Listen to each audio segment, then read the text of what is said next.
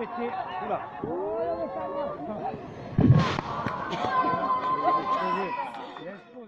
En 2018, j'ai bénéficié de la bourse de recherche du CNAP pour réaliser un projet. Mon projet, c'était l'enquête du mai de Saint-Tulle, une fête qu'on organise chaque année dans mon village à Cucuron, dans le Vaucluse. Cette fête consiste à aller couper un peuplier, en provençal une piboule, qui est ensuite portée par les habitants du village, dressée devant l'église et qui la domine. Et ensuite, la cérémonie se clôture par euh, des danses et des chants provençaux. C'est un moment assez rare dans la vie du village où les habitants se rassemblent tous ensemble pour cet événement qui est perpétué depuis 300 ans euh, cette année.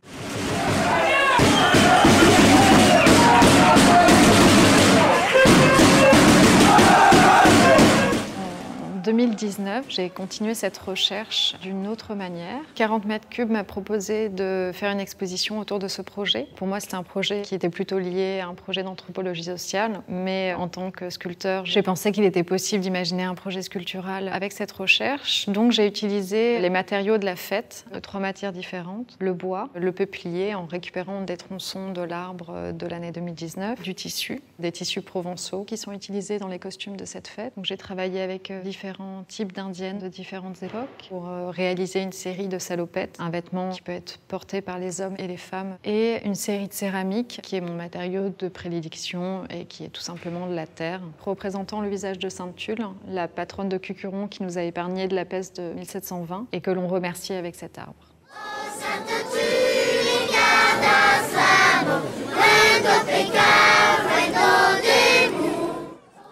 En 2020, je vais prolonger mes recherches à travers une euh, série de collectes de récits chez les habitants du village, ainsi qu'une collecte d'images.